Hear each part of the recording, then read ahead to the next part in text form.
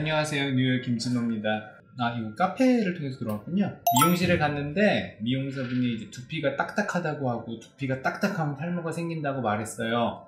실제 다른 친구의 두피를 눌러보니 좀 말랑말랑하던데 저는 딱딱해요. 진짜 두피가 딱딱해지면 탈모가 생기나요?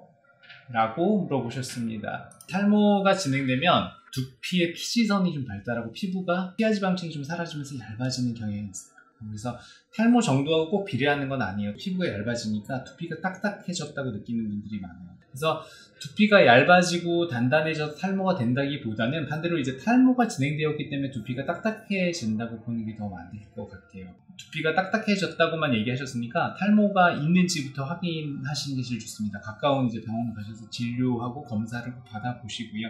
또 하나 덤으로 이제 말씀드리면 신경적인 부분도 있어요.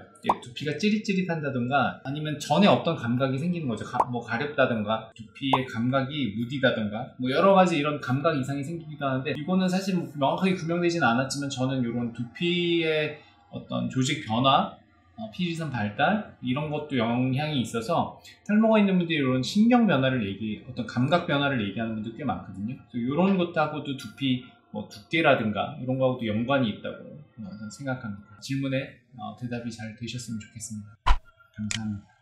질문 있으시면 저희 네이버 뉴헤어 카페 질문 게시판에 글 남겨주시면 제가 빠르게 답변 드리겠습니다.